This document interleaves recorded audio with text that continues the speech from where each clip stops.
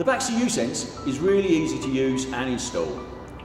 However, we would recommend that you explain all the new features to the customer so they can fully benefit from their new heating control. Here's a few tips on how to hand over to your customer to get the best out of the Baxi uSense. Get the customer to download the Baxi uSense app and create an account. If the uSense is connected to the Wi-Fi, getting the customer to engage with their new installation using the app will not only simplify the handover process, but also improve their customer experience. Register and pair the uSense smart device. With the app downloaded and installed, go through the process of pairing the device. Basic functions of the app. It is relatively straightforward once you get used to it. A quick demonstration of the home screen, accessing the menus and how to create temperature schedules is really all that is required. uSense Basic Controls. Really simple but helpful to know where your customer is just getting started with the uSense. Show them the select and back buttons and how to operate the dial between the home screen, the settings menu and the character libraries when typing. Also show them the long press function. Long press the select button for the quick access menu and long press the back button to quickly exit a settings menu.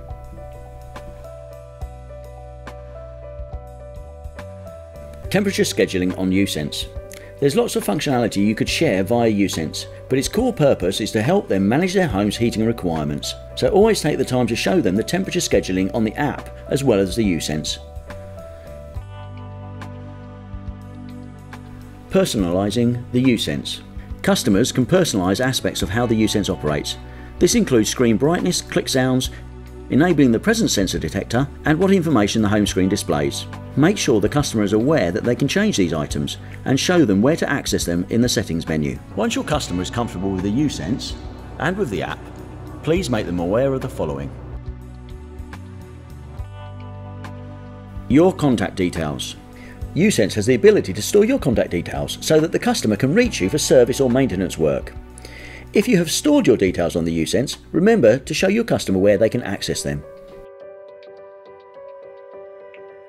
OpenTherm installation. If you installed the uSense via OpenTherm, make the customer aware that the uSense controller will override your boiler's heating controls. This means that your radiator temperatures will be determined by the uSense unit and not by the control on your boiler. Any error codes displayed will be communicated via the uSense and the app, but the customer must always check the error codes at the boiler as well. Product packaging. Ask the customer to temporarily keep the product packaging during the warranty period. It is unlikely the uSense will break, but the controls are classed as a returnable item. Warranty. Explain the warranty period to your customer and any promotional installer warranties that may have come with the device. And that's our top 10 tips for handing over the uSense unit to your customer. For more information, please watch our other Baxi uSense videos.